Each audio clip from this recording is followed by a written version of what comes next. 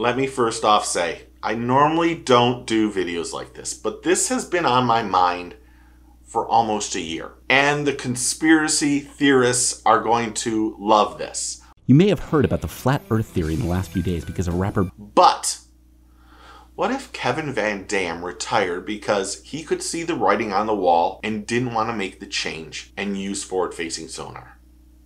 That's what we're going to talk about in this video. So could Kevin Van Dam, the greatest of all time, see the writing on the wall and didn't want to make that change to forward facing sonar and decided, let's retire now while we're on top of the game. It makes kind of a little bit of sense, as much as I hate to admit this. But in this last tournament with Redcrest, KVD went out there and didn't really go crazy using forward facing sonar. And he probably understood, stood, or maybe he understood, that this was something that either you dive in completely or else you just don't compete. That's what this comes down to. And I know there's a lot of conspiracy theorists that are probably going, I told you so. I knew this was going to happen. So you might not be surprised to learn that more than a million people that birds aren't real are actually government surveillance drones Sound insane? And a lot of Blaukat fans that are going, no, this is what Randy's been saying for years. No. But is there is there something we should be looking at? Now, KVD is never probably ever going to admit it because one of his biggest sponsors is a forward-facing sonar company. And they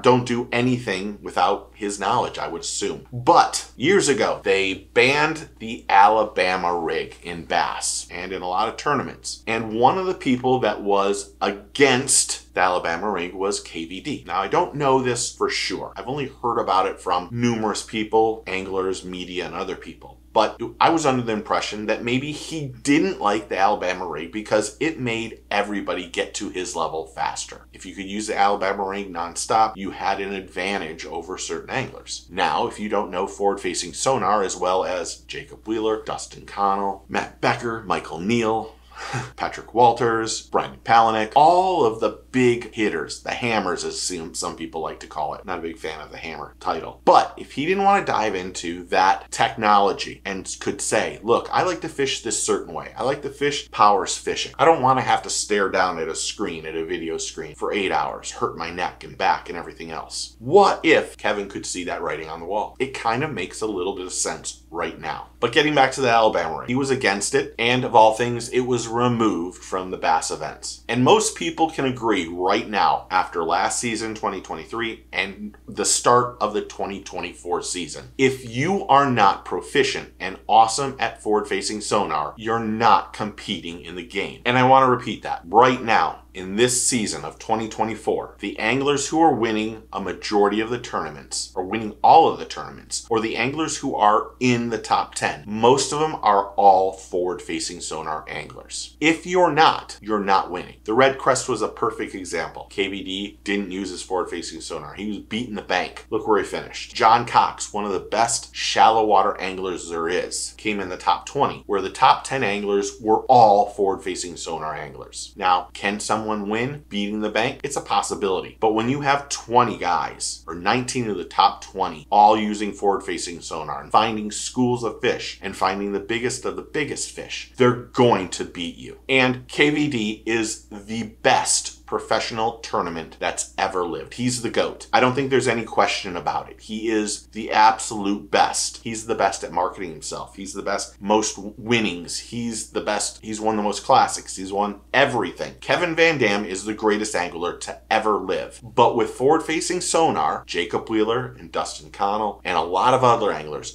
are gonna give the are gonna have the run at being called the GOAT. KVD is the Michael Jordan of fishing. But could Kevin see the writing on the wall? It's not that he probably didn't want to learn the technology, but learning it to the proficiency that some of these guys have dialed it in is second to none. And there's a lot of people that don't like to change what they're doing so well. And understandably, when you've been one of the most dominating anglers for 25 plus years, Kevin has been the best angler on the planet for so many years. Why change what's not broken? There's there's something to be said to how Kevin fishes. But this forward facing sonar and, and the anglers that use it like they do, they completely kill everybody that's on the bank or flipping and pitching. They completely kill them. So my question to you is, is there any chance that Kevin could see this? Could KV see it on the wall and go, you want to know what? It's not that I don't want to learn it, but I want to do something else, like the TV show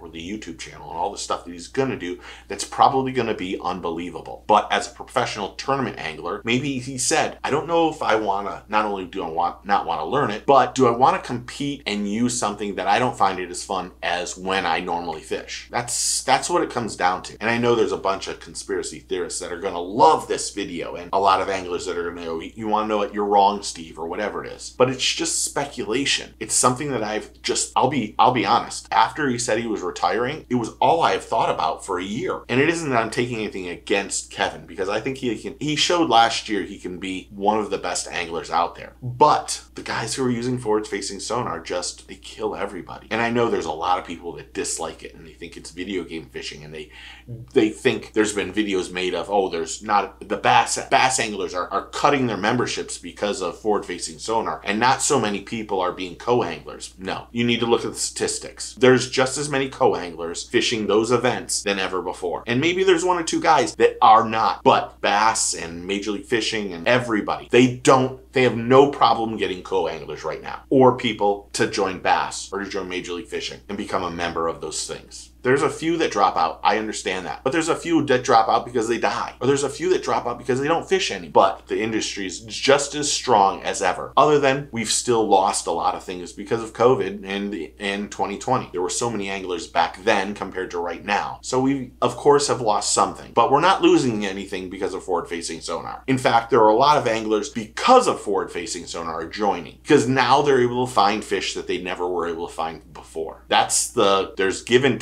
takes to both sides of it. Is there an issue with maybe conservation down the line? Probably. Is there more anglers going out and fishing because now they're actually catching fish instead of going fishing and doing nothing all day and wasting money? Yes. Guides and other people are able to, to do better because of forward facing sonar. And the technology is only going to get better as time goes on. And it kind of stinks. But that isn't the question here. Do you think Kevin quit or retired because he knew that this forward facing sonar was going to change the way the game is played? That's what I want to know in the comments below. Remember, first off, thanks for hitting that like and subscribe button. Make sure you take a kid fishing, get your fish on. Weird video, I know. I'll talk to you soon. Cheers.